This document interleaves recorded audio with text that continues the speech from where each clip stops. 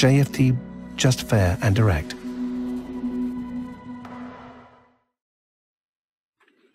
Good morning, everyone, and welcome to JFD's weekly market outlook webinar for the week February the 1st until February the 5th. I am Charalambos Pissouros, Senior Market Analyst here at JFD, and I will describe the most important economic releases and events on the financial agenda for the week ahead. But before we start, let's uh, read our disclaimer first. The content we produce does not constitute investment advice or investment recommendation, should not be considered as such, and does not in any way constitute an invitation to acquire any financial instrument or product. I will leave you a few seconds to read the rest, and then we will jump into our analysis.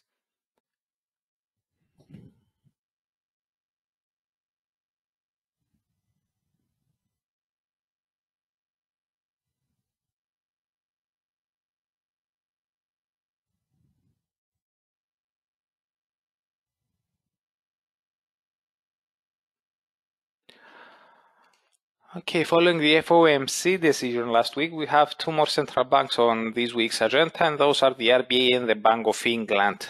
As for the data, we get the Eurozone's preliminary GDP for the fourth quarter and the, prelim- and the Euro area preliminary CPIs uh, for January. From the US, we get the employment report for uh, for the month, and from Canada, we also have uh, jobs uh, data. So let's take things from the beginning. Today looks to be a relatively light day with the only releases worth mentioning being the final Markit manufacturing PMIs for January from several Eurozone nations, the Eurozone as a whole, the UK and the US, as well as the US ISM manufacturing PMI for the month. As it is always the case, the final Markit uh, PMIs are forecast to confirm their preliminary estimates, while the ISM index is anticipated to have declined fractionally to 60 from 60.5. Now, on Tuesday, during the Asian morning, the RBA decides on monetary policy. When they last uh, met, policymakers of this bank kept policy untouched, noting that the Australian economic recovery is underway and that recent data have generally been better than expected. Since then, the unemployment rate declined by more than by more than anticipated in December, although the employment change revealed a slowdown in added jobs, while headline inflation accelerated more than forecasted in uh, the fourth quarter, despite staying well below the lower end of the RBA's of the RBA's target range of two to three percent. Economic activity also rebounded uh, by more than anticipated. So with uh, all that in mind, we don't expect any action to be delivered at this gathering. We just expect officials to repeat that they stand ready to do more if necessary, but also that the data have continued to, to be better than expected. Investors may decide to pay more attention to the quarterly monetary policy statement due out on Friday, in which the bank uh, presents its economic projections it would be interesting to see what the bank's outlook is now with the rollout of the coronavirus vac- vaccinations. So, if the bank continues uh, to say that uh, the data have been better than expected, and if we see the economic projections being revised uh, slightly higher, this will be positive for the Aussie. But generally, we believe that the will stay mostly responsive to developments surrounding the broader market sentiment than um, than uh, the developments surrounding monetary policy.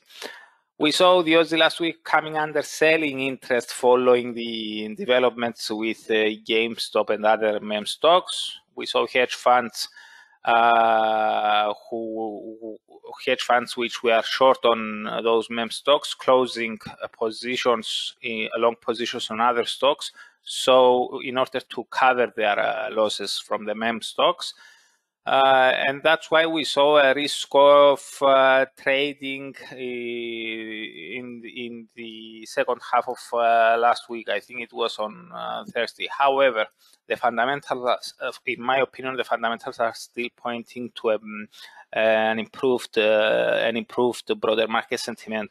We have uh, strong monetary policies around the globe we have the Brexit um, trade accord between the EU and the UK. Now Brexit has taken the back seat. Uh, we have a, the prospect of a large fiscal package in the US. We have the coronavirus vaccinations, although at a slower pace. Still, we, a lot of people are getting vaccinated, which means that uh, at some point we will see the global economy uh, to recover. And all this is a blend of developments, in my opinion, that uh, could support, keep the broader market sentiment supported, supported at, the, at least in the first months of uh, of 2021. Um, now, uh, on as for Tuesday's data, uh, Uh, we get the Eurozone's first estimate of GDP for the fourth quarter, which is expected to have contracted 1.8% quarter over quarter after rebounding 12.7% in the third quarter. This is likely to raise concerns with regards to the bloc's economic activity, especially taking into account the slowdown in the rolling of the coronavirus vaccination, but we believe that euro traders are likely to treat this release as outdated, given that we already have data showing how the euro area economy has entered the new year, the likes of the PMIs.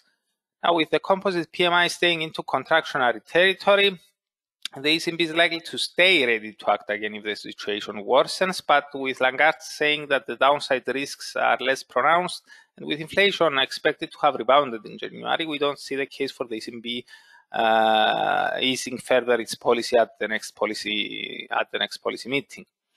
Now on Wednesday, during the early Asian morning, New Zealand's uh, employment report for the fourth quarter is coming out, and the forecast points to an increasing unemployment rate to 5.6% from 5.3%, while the, the employment change is expected to show that the economy has lost 0.8% quarter over quarter jobs the same pace of decline as in the third quarter.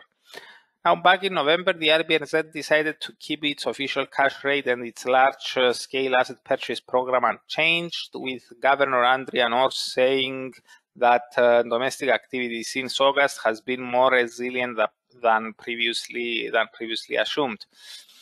Quarter four inflation stayed unchanged at 1.4% within the bank's target range of 1 to 3%, keeping the probability of negative interest rates at, at very low levels. Although weak employment report could raise some concerns and thereby hurt the Kiwi, we doubt that it could drastically alter expectations around the RBNZ's uh, monetary policy plans. In order for the RBNZ for the RBNZ to start considering negative interest rates again, we believe that we need to see more data and disappointing. Now, as for the Kiwi, similarly to the Aussie, it's a really risk-linked currency. I believe that it will be more affected by the broader market sentiment rather than uh, uh, economic data and monetary policy uh, speculation. Now, during the European trading, we have uh, Eurozone's preliminary CPIs for January. The headline CPI rate is forecast to have rebounded to 0. to plus 0.5% year over year from minus 0.3%, while the HICP excluding energy and food is forecast to have accelerated to 0.7% year over year from 0.4%.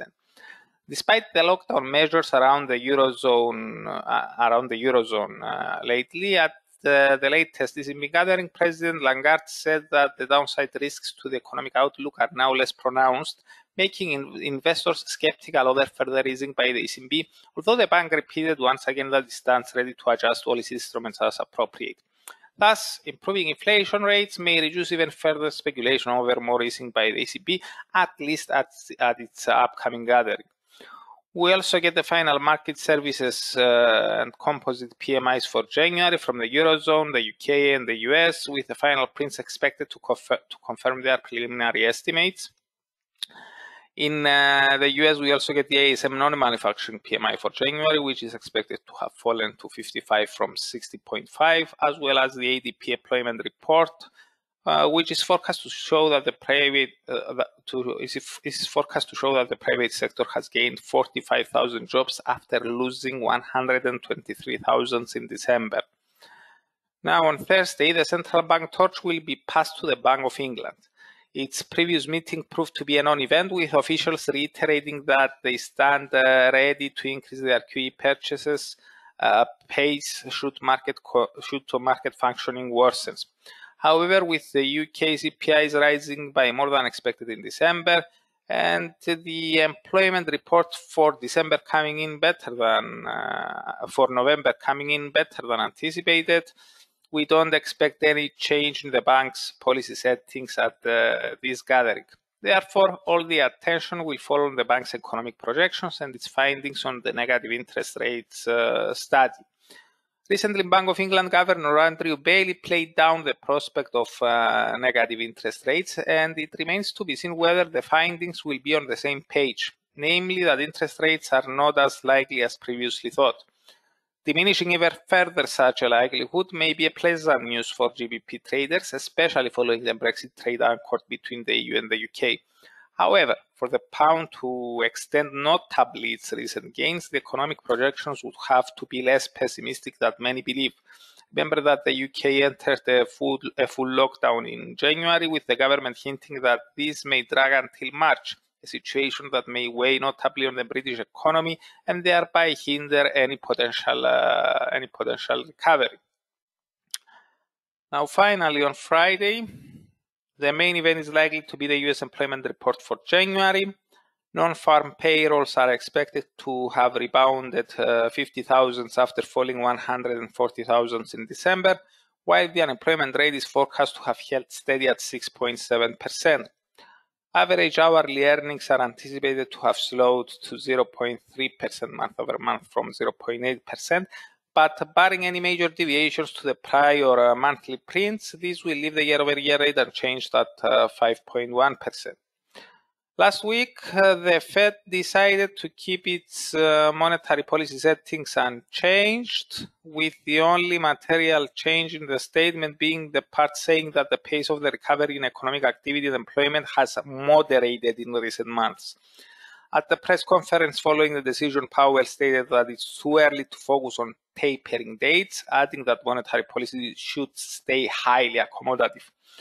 Although an improvement uh, from December, still the aforementioned forecasts suggest that the labor market is far from returning to a road of a healthy recovery.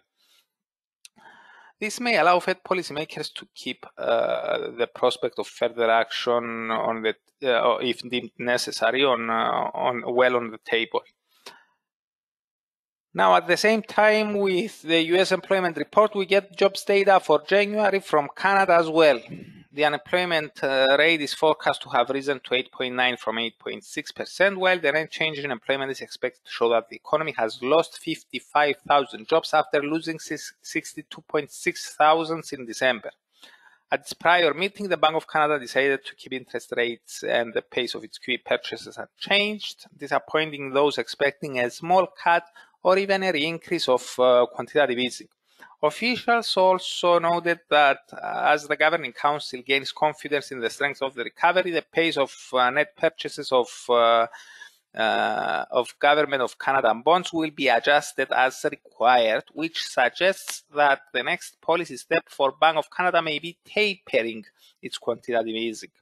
However, Another soft employment report is unlikely to suggest that such a move may be on the cards in the months to come. It could even push back expectations on that front, something that may prove negative for the Canadian dollar. However, as we noted several times recently, the broader path of this uh, commodity currency will depend on developments surrounding the broader market sentiment. As we already noted, we see risk appetite improving in 2021, at least in the first months something that could prove supportive for oil prices and thereby for uh, the loonie. So that's it uh, from me. Thank you very much uh, for watching and uh, and listening. I hope you have a great week, and I'm looking forward to seeing you here again next uh, Monday.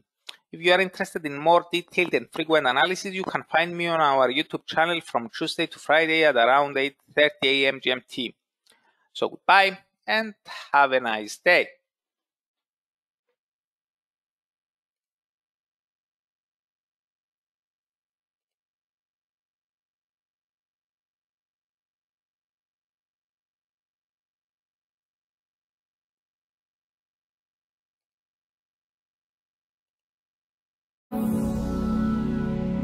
JFD, just fair and direct.